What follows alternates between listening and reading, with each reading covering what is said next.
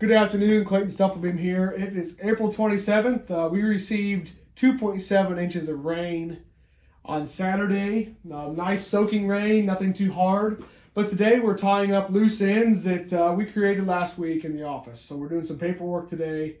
One of those bits of paperwork I'm working on is our plan for the FFA plot here in El Paso.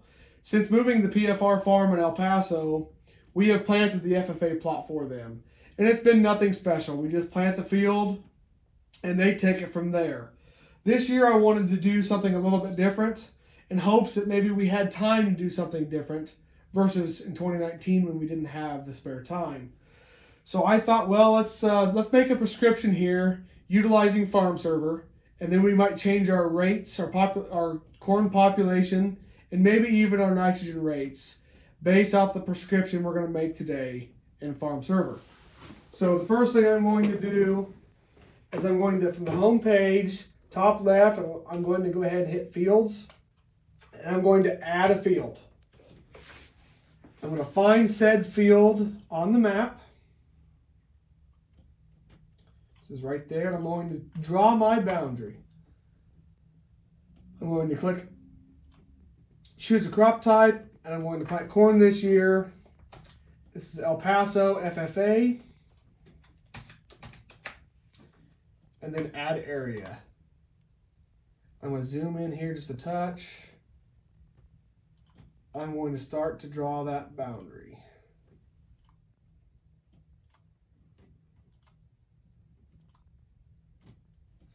When I get to where I'm satisfied with the boundary, I double click. That will create my boundary for, for me, and it comes up to be 12.2 acres. Then I will click, quick click drawing complete, and then save. And from there, I want to create my zones for this field. So click on zones. At the bottom left, I will, I will click create zones. And then hit add on the FFA field. Continue. We have multiple options here for the zones you want to utilize. So crop health imagery, imported files, yield, custom zones, multi-layer, drone data, soil test, elevation, and soil type. I'm going to use a custom zone. And I'm going to base my information off of the organic matter map that our SmartFirmers created last year with our 2020. The yellow area has an organic matter percentage of 3.5 to 4%. And then the green area has OM at 4.5 to 5%. So I will click custom zones. And then I'm going to change my name here and 2020 planting prescription. The first thing I will do once I get into the into the field here, I'm going to change my opacity so I can see what I'm working with. And then I'll hit split a zone. And then that basically opens up the tool to where you can start drawing a line very similar to how you made your boundary. I'm just going to draw this in here real quick.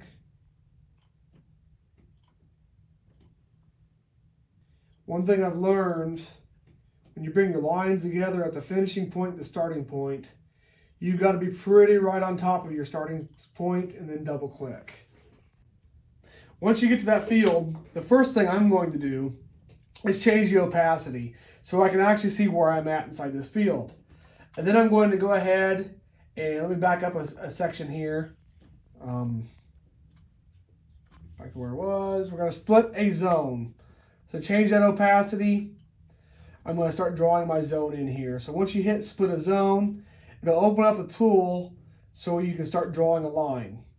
And I'm just going to kind of draw a line here and, and divide this field into two sections.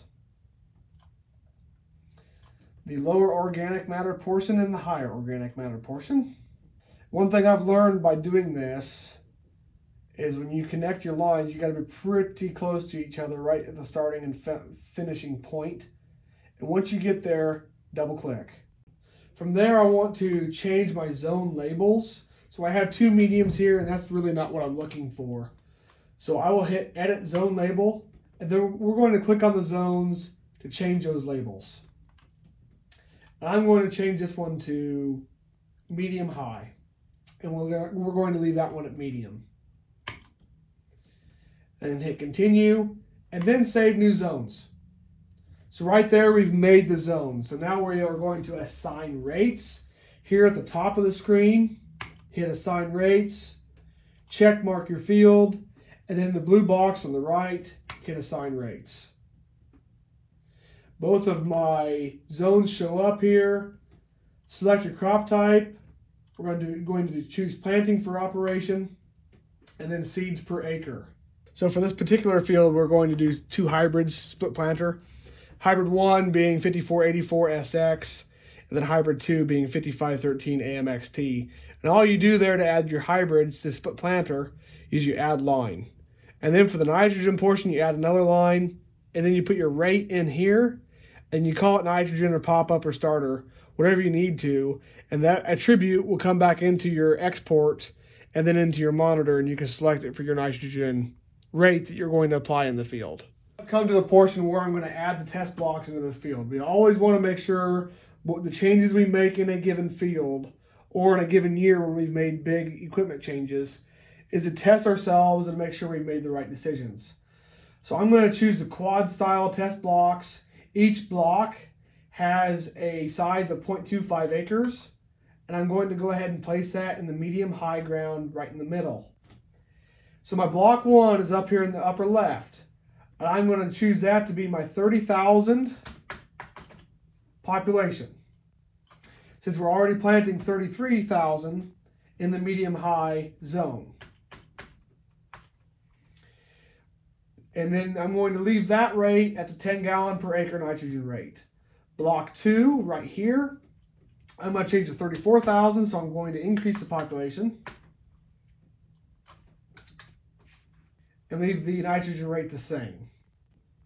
Block number three in the lower left, population, I'm going to actually leave at 33,000 where I planted in this block normally. But I'm going to change my nitrogen rate to 8 gallon per acre. And then quadrant 4, I'm going to increase up to 12 gallon per acre for nitrogen. And then I will hit Save Test Block. So I have a, a quad, quad block here in the medium high zone. I will make one just like that in the medium zone. So we've got all the test blocks placed. We have two quad blocks in the medium high zone and then the medium zone with both hybrids 5513 AMXT and 5484SX at three populations and three different nitrogen rates in the test blocks. So it should be an exciting trial for the FFA students this season. My monitor, I got my monitor turned on and the USB drive inserted. From there, I'm going to go to Setup, Data, Import, Prescription and Boundary. One prescription was successfully imported. From there, I'm going to go home, setup, fields. I'm going to go to farm, add a new farm, caps lock, FF, FFA,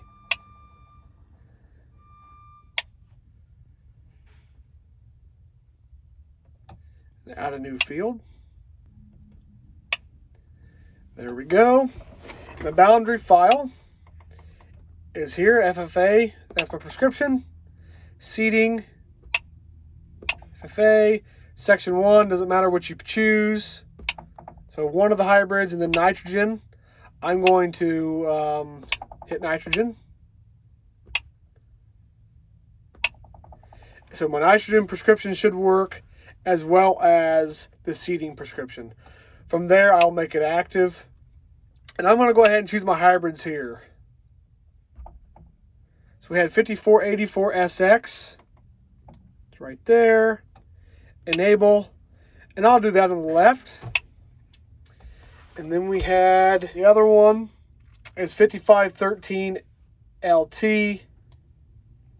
And I'm just going to put in 5513 AMXT here. And we're going to hit enable and choose the right for that. And then we are set up and we are ready to go. So with that, it wasn't too hard for us to uh, export that out of the computer, make a prescription, and get it into our 2020 monitor. I look forward to uh, bringing the FFA students out this season, scouting the field, and then keeping track of it throughout the season. I do look forward to adding yield data to this as another layer of accuracy when we go to make a prescription again for the 2021 planting season. Thanks for joining us today. Hopefully this helps if you're planning on making a planting prescription for 2020. Thank you.